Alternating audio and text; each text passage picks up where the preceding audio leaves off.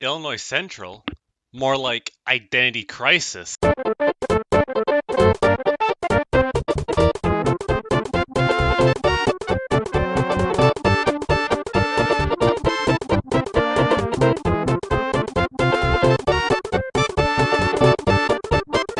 You know, this hybrid scheme, it, it honestly isn't that bad. I mean, stripes and uh, the white front definitely is something, I will admit.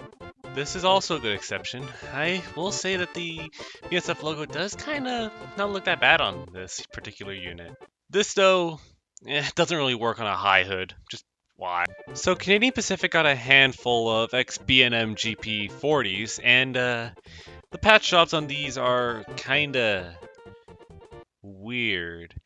And when Canadian Pacific end up repainting these, it's like, why? Ah yes, my favorite Class 1 railroad. It has to be CCSX. Don't worry guys, it's nothing to panic. It's not a phase he's going through. He's just showing his inner Rodney Kolinsky. As much as people will hate this, I honestly don't have a problem with this patch job. If anything, it was painted in a rather interesting scheme before it got patched over Canadian Pacific. It's just a shame that CP slaughtered it later on.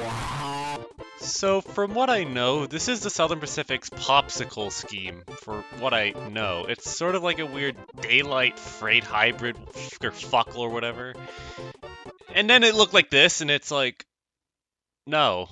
Okay, believe me, there are quite a few uh, BNSF-9s that sort of looked like this, but why the Anyone remember Pan Am Railway 7552?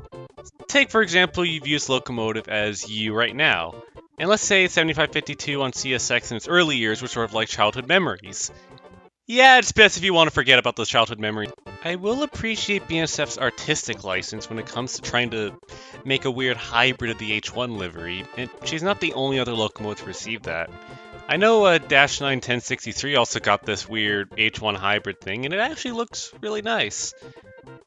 But this is horrendous. The mere fact that shop employees looked at this and said, oh, this is fine.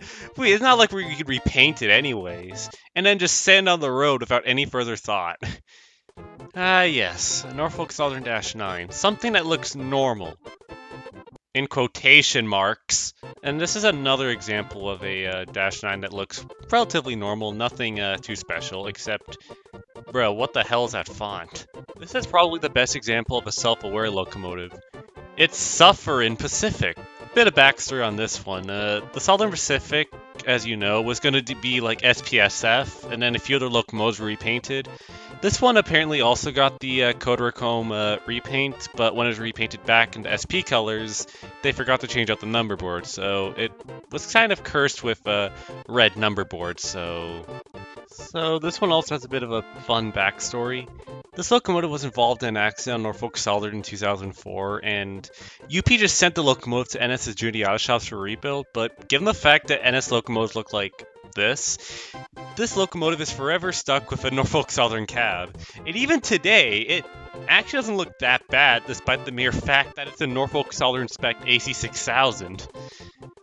But for real, this thing kind of does look very ugly without a logo. And I guess that's all the time we have for this video.